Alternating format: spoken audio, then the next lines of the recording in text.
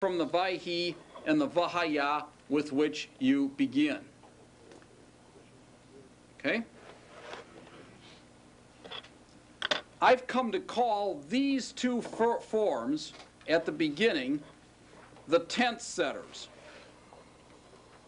That's either a, my own version of a technical grammatical term or a, uh, or a very nervous dog.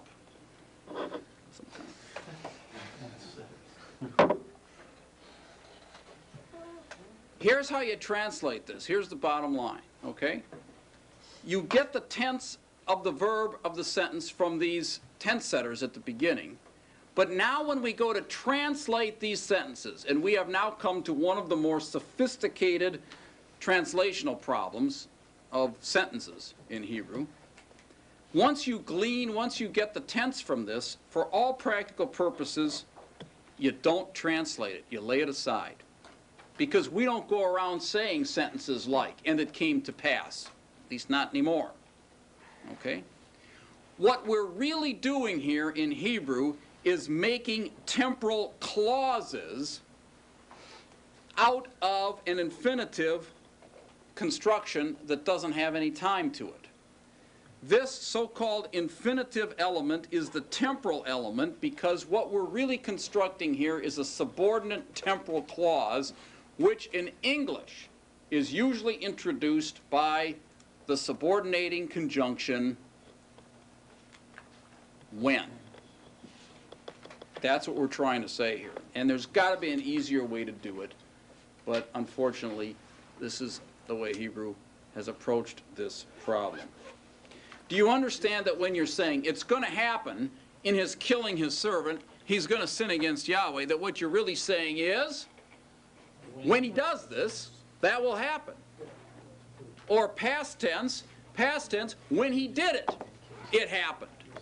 But we're really making temporal clauses out of all of this, and that's the bottom line for translation. You can take this Baith, you can take the Baith, and for all practical purposes, translate it as the conjunction when. Now we've shifted from a preposition to a conjunction, but do you understand what we've got here? And it happened when the man, now wait a minute, what tense is katal here? And it happened when the man, what tense are you going to translate the infinitive?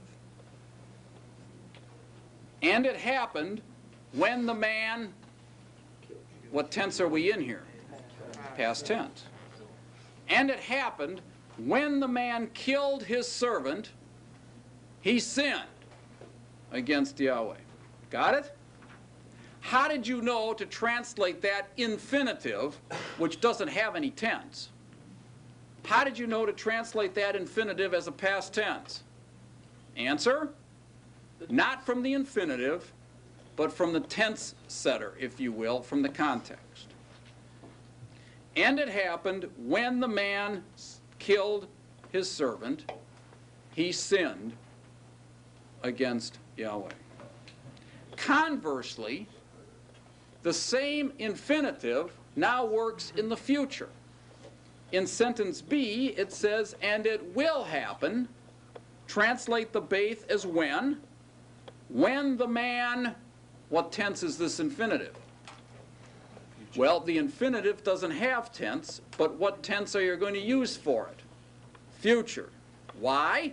Not because the infinitive is future, but because the tense setter told you it's future. It's going to happen when the man will kill his servant, then he will sin against Yahweh. Okay, questions now. I mean, could we make it any more complicated? That's the problem. Yeah, Dion. For the future sentence, couldn't you just say when the man kills his servant, he will sink in Yahweh, since it's, Yes. Yeah, you're asking the difference in English between will kill and kills, and kills has that future sense. You could translate these simply as when the man kills. That's kind of nice because it almost leaves it without a real clear tense. huh? When the man kills his servant, and now you get future, he will kill. Right, right. Was that your question too? No, no, I Oh. was curious, uh, it's a little off subject. Um, No, It's never stopped you before. Well, that's- um, The, the, the prefix, the Bath prefix, when you translate that as when, Mhm. when we got interrogative pronouns, we never got a pronoun that meant when, as like a question. Does that ever come up, or is there a different word that's used for that? Now you do have me confused.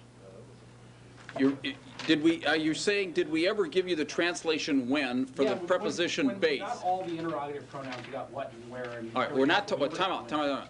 We're not talking about interrogative pronoun here. Right, I understand that, Okay. but I, did- I was curious as to. Is there a Does word that for when? translation come up as an interrogative pronoun, as an actual No, question? no. It Doesn't? No, Okay. no. The answer to your question is no, it isn't gonna happen. Not with Bath. Bath is not an interrogative when, okay? It's just uh, Bath is a preposition, okay? It's only by the idiom of these sentences that we're translating it when, right? It's kind of a funny use of in. In the, in, in the situation, uh, in the occurrence. See, however you want to put that into English, but for all practical purposes, it's when. All right, let's try a couple of sentences now and see, huh? When will we get when? When, yeah, yeah, well, you have to wait. Question? Yeah, I was just, um, um, maybe it's, I missed something, but we're talking about the future narrative. Um, I see that it's, it could be either a perfect or a perfect while consecutive. How do we know? Well, again, okay, let me, I think I understand your question. You're saying when you see one of these, I've messed this up so bad you can hardly read it. How do you know whether this is perfect while consecutive or just perfect with the conjunction? The answer is, you technically, you don't, okay? Because you remember that you- you're, you're right in recalling the fact that the perfect with while consecutive looks the same as the perfect just with the conjunction, right?